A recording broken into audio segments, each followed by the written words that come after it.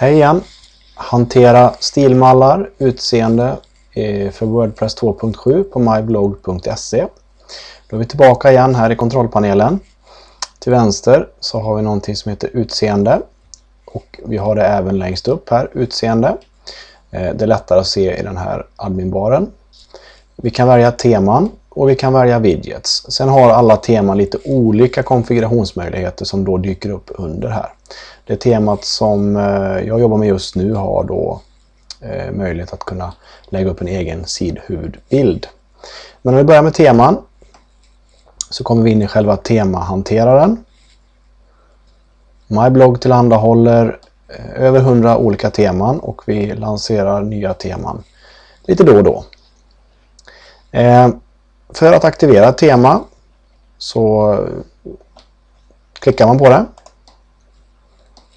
Tycker man att det här är okej, okay, man får upp en preview, förhandsgranskning. Eh, ja, tycker man det här ser okej okay ut så aktiverar man det genom att trycka på aktivera här uppe.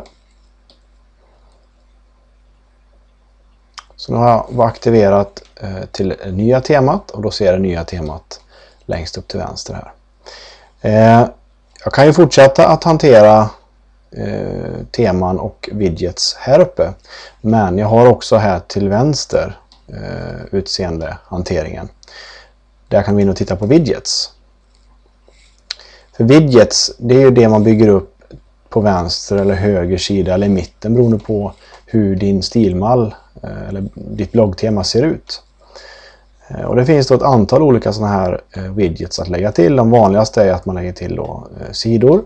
Man kanske lägger till sina länkar, man lägger till kategorier för bloggen och eh, man kan lägga upp ett etikettmoln. Etikettmolnet är det som skapas av alla dina etiketter du lägger upp för att man lätt på Google ska kunna hitta till din blogg. Kategorier, senaste kommentarer, du kanske vill lägga upp din bloggavatar. Så det här är då hanteringen av din eh, stilmall och hur du kan förändra ditt utseende på myblog.se